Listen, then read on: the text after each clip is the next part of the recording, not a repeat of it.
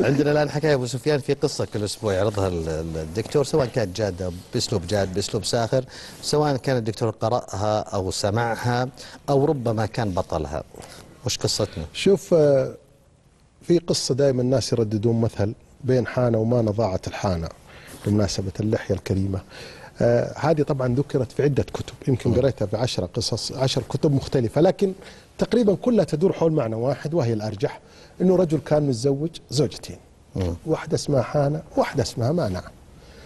فتعرف كل في تنافس بين الزوجتين كل واحدة بتظهر بالمظهر الأجمل. هو طبعا يوم تزوجهم كانت لحيته طويلة. إيه. فلما راح الحانة ضبطت شوي قصت شوي فهذيك عرفت إنها قصت فراحت الجديدة المانع وقصت شوي. هذيك لما تخرب على اللي قبلها فراحت قصت شوي. المهم الرجل تناقصت لحيته تناقص تعرضت العوامل التالية. عون لين وصلت كذا فهو التفت بالمراية شافها كذا لحية زي لحيتي جميلة. قال الله يخلف الله بين حانة ومانة ضاعت الحانة. بس.